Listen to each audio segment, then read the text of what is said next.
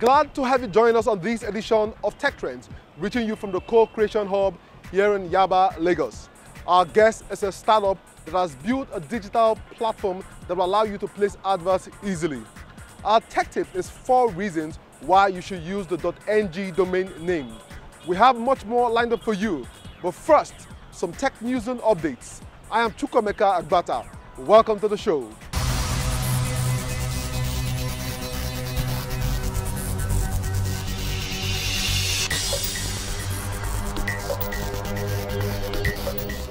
According to a study conducted by Partech Ventures, $560 million in venture capital funding was invested in African startups in 2017. That's an increase of 53% from $366.8 million in 2016. This research points to the fact that the African startup scene is getting global attention.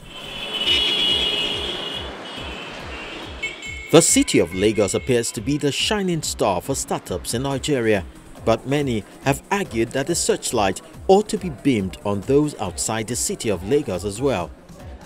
It is to this end that a non-governmental organization called Startup Arewa makes an effort to bring together startups and other experts from various parts of the north. People tend to think that uh, companies, bigger companies, will take over something that belongs to you or the theme of the event is building a competitive tech and media ecosystem in northern Nigeria. Um, point. I think the point about why you want to move from, say, Kano to Abuja. Experts at the gathering argue that there has been a carefully thought out policy for supporting startups. We have a lot of young people with a lot of smart ideas.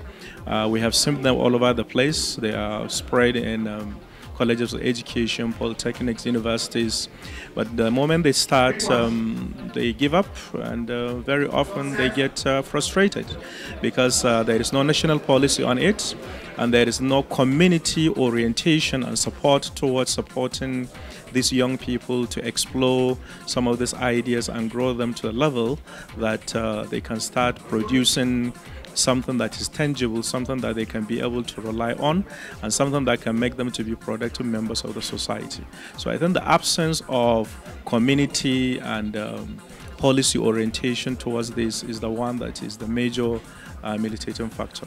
A session of the discussants believe that the northern part of the country also has good potential for startups to grow and that collaboration should be encouraged as much as possible. The key to this is celebrating ourselves a bit more, just so that we can get more visibility um, in the space of those that should be paying attention to.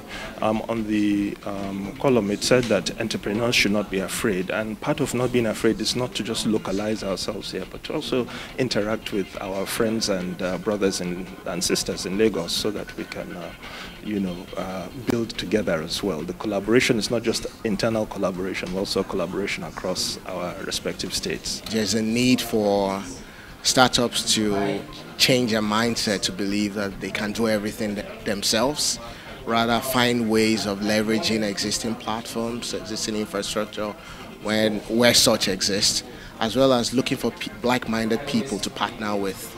You know, this whole idea of solo founder, it really has its risks and disadvantages. So find a co-founder, look for existing platforms to leverage on and use the limited resources you have available and channel it into your product rather than building things that are already there. The importance of getting more women into the technology ecosystem is also emphasized.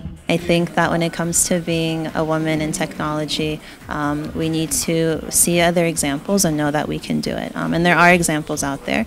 Um, so even though the numbers are small, we can still um, take pride and take lessons from those that are out there. So females are like very strong. They know what they're doing. They're very capable. They just need that opportunity. So if you can extend a hand to someone else, show them the ropes, um, I think your businesses and your startups will only benefit from that. The convener hopes that more of this gathering of the northern tech ecosystem should be encouraged. We've identified hub founders and also tech founders to come together and also media bloggers who are doing a lot in the media sector, but we want them to come together so that we can be able to have one strong voice among ourselves. We need the media to amplify our voices because we know that a lot of content are going out there.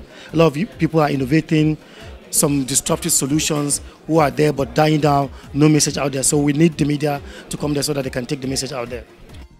One important element of entrepreneurship development is the collaboration with the academia.